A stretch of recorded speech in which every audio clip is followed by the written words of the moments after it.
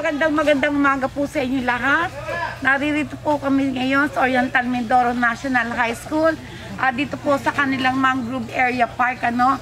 At kasama ko po mga taga-provincial ah, PDRRMO, CDRRMO at MDRRMO ng Gloria, Bulalakaw,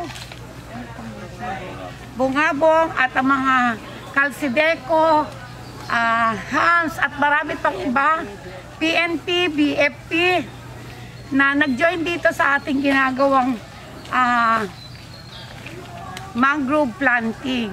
Medyo hingal po ako, pasensya na kayo. Lumakad ako na lumakad, tinitingnan ko at nag, namumulot na rin po ng mga basura, mga kasama ko rito dahil kailangan po na protektahan po natin ang ating kalikasan at unang-una po itong mangrove area ito na nagbibigay po ng protection sa ating kalikasan, yung emission po ng carbon ano. Kaya sana po aking mga kababayan na naririto ngayon, Marami po tayong area na pwede po nating tutukan. Dito po sa mahal na pangalan, si Lunay, at saka po Maidlang. At ito po ang pinakamalapit na nasa bayan. Ito pong ating Oriental Mindoro National High School.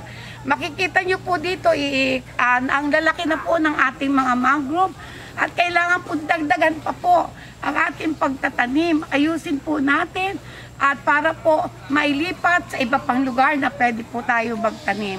Sa aking mga kababayan, samahan niyo po. Hindi lang po para sa Kalapan, kundi sa whole province po natin. Tulungan po natin para po ang ating maging ang ating pong probinsya, ang ating pong syudad ay maging isang maging makalikasan ang mga taong mga naninirahan dito po.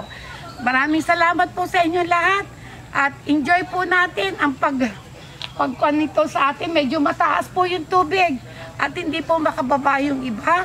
Pero ang sinisika po namin, makuha po yung mga dumi dito para nga po ah, hindi po ito makasagabal sa growth ng ating mga mangrove.